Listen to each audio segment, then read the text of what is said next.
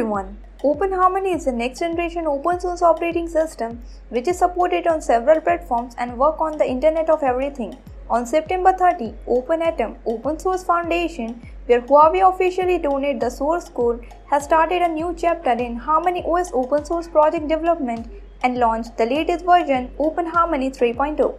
According to the information, the Open Harmony 3.0 will pave our way to the Harmony OS 3.0 operating system. Meanwhile, report reveals that the Harmony OS 3.0 will launch, but there is no information available on this matter at the moment. Let's dive into the Open Harmony 3.0 and what this new version brings to the consumers. The Open Harmony 3.0 is based on the Open Harmony 2.2 Beta 2 and brings substantial improvements over the past version and optimizes the operating system.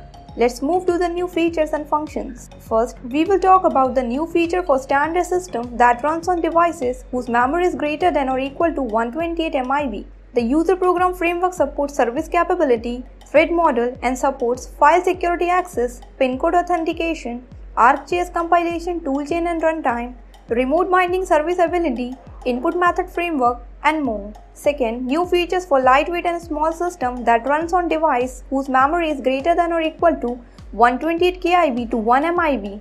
New lightweight distributed capabilities enhancement are added to support starting ability on the standard system from lightweight system. Support for software capability, lightweight globalization capabilities, 31 new languages, new permission attribute field and more functions are added.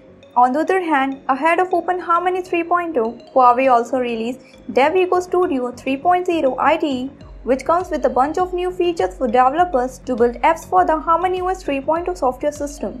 That's it for now. If you like this video, then press the like button, comment below, press the bell icon and subscribe to our channel. And don't forget to visit HC Newsroom.